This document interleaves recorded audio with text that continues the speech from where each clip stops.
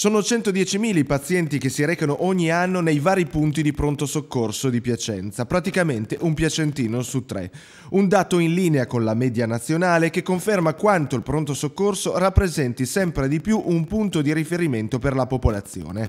Vedo, vedo una popolazione che negli anni ha sviluppato come dire, una, crede in un servizio e, e, ha capito che quel servizio è un, un, riferimento e si fida. È un rapporto che io vedo anche cresciuto in, in, un contesto nazionale ma anche locale. Lo ha detto Andrea Magnacavallo, primario del reparto di pronto soccorso dell'ospedale Guglielmo da Saliceto, intervenuto ieri sera a Nel Mirino, la trasmissione di Telelibertà condotta dal direttore Nicoletta Bracchi.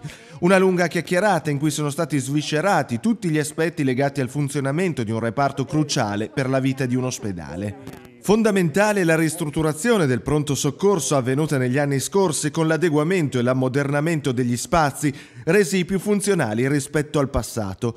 L'accesso unico anche per il pronto soccorso pediatrico e quello oculistico ha permesso un'ottimizzazione del lavoro.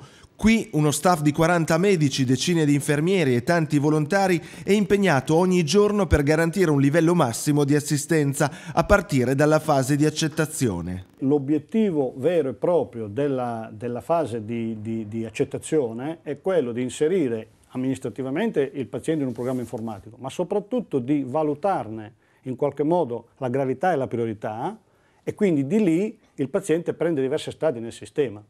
Poi magari possiamo entrare nelle diverse strade. Poi c'è una seconda fase, dal momento in cui il paziente viene affidato ad un'area di cura, comincia un'altra fase, che è la fase in cui si deve fare una diagnosi e si deve fare una terapia. Le repliche di Nel Mierino andranno in onda domani alle 21.30 e lunedì alle 17.